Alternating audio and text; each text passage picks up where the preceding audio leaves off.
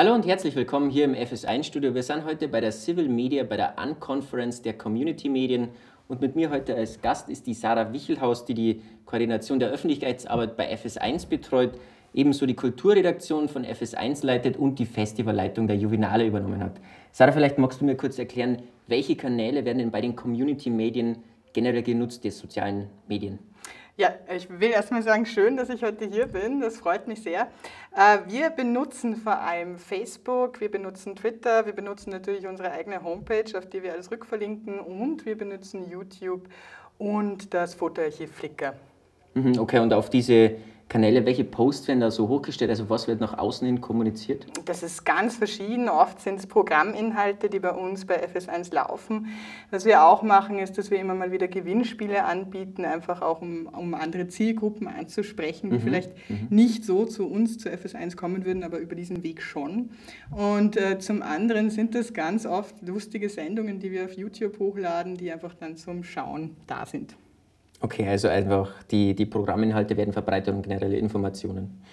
Gut, und ähm, du hast ja heute dieses Vernetzungstreffen. Hat es einen Zusammenhang quasi die, die Sendungsmacherin, also die Community-Mitglieder, die auch an so einem Sender oder eben generell an so einem Beitrag, äh, Projekt mitarbeiten, hat es den Weiterbildungscharakter einfach, oder? oder genau, du hast, du hast das eigentlich ganz gut äh, beschrieben. Es geht äh, darum, dass wir einerseits vorstellen, wie wir Community ähm, äh, auf den Social-Media-Kanälen vernetzen.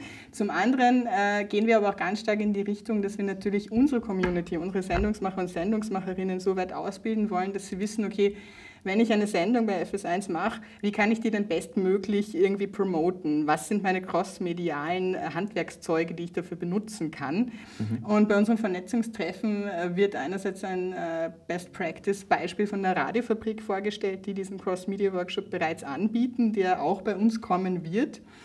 Und äh, zum anderen werden wir einfach unter den verschiedenen Rundfunk- und Community-Stationen versuchen, Projekte zu entwickeln, ähm, wo wir einmal Aufwand haben, aber dieses Projekt dann über viele Kanäle gleichzeitig rausgehen kann. Das heißt, mhm. dass wir schneller eine größere ähm, Masse an Leuten erreichen können.